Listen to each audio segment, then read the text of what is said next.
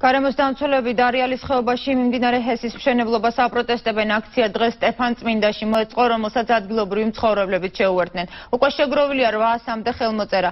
გარემოს დამცველები ადგილობრივი ეკოსისტემის განადგურების საფრთხეზე საუბრობენ. მათი პროგნოზით ამის გარდა საფრთხე მდინარე თერგსაც ემუქრება რომელიც შესაძლოა საერთოდ გაქრეს მე ვარ ადგილობრივი ცხოვრები და ყველა ჩემნაირად არის მთელი ყველა ცხოვრები თქმის არავინ არ იცის დასაკეთებენ.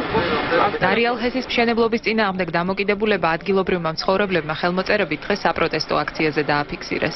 100 მეგავატის ინძლავრის ჰესი მდინარე თერგზე უკვე ერთი წელია შენდება. ჩვენი მოთხოვნა არის ის რომ გაიზარდოს თერგის მდინარე თერგის კალაპოტში დატოვებული საუდენობა რადგან მდინარე ეტაპზე იგებება მხოლოდ წყლის 10%-ით დატოვება კალაპოტში რა ვფიქრობ რომ სულად გაანადგურებს თერგში ნაკადულის კარბას და ფინანსების დარიალისობაში ეკოსისტემას საქართველოს მშენებარე ჰესების წინააღმდეგ მიმართული კამპანიის ფარგლებში გარემოს დამცველებმა თეატრალიზებული საპროტესტო აქცია თბილისის შემდეგ სტეფანწმინდაში გამართეს. არასამთავრობო ორგანიზაციების აზრით ჰესის მშენებლობა ისტორიულ მდინარე თერგსა და ადგილობრივ ეკოსისტემას განადგურებით ემუქრება. დარიალი ჰესის პროექტი გულისხმობს 11 კილომეტრის სიგრძის დინარე თერგის, პრაქტიკულად 8 კილომეტრის მონაკვეთის წყლის სათანადო ოდენობის წყლის გარეშე დატოვებას, რაც პრინციპში ნიშნავს როგორც დინარე თერგის სიკვდილს, ასევე მთლიანად დინარის ეკოსისტემის სიკვდილს და დარიალის ხეობის შეცვლას კარდინალურად.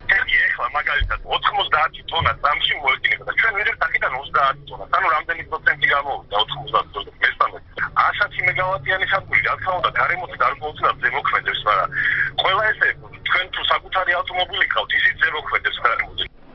დარიალ ენერგიის სამეთვალყურეო საბჭოს წევრი ამბობს, რომ ჰესი გარემოზე მნიშვნელოვან გავლენას ვერ მოახდენს, ხოლო თერგში ისედაც შემცირებული კალმახისა და სხვა თევზებისთვის სპეციალური თევზსავალია გათვალისწინებული.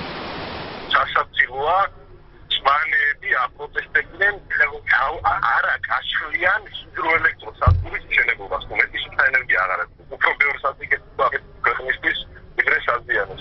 კომპანიის წარმომადგენლის თქმით, დარიალის პროექტზე ამჟამად 500-მდე ადამიანია დასაქმებული. მშენებლობის პარალელურად ჰესების მოწინააღმდეგეთა ხელმოწერების შეგროვება უკვე რამდენიმე კვირაა მიმდინარეობს.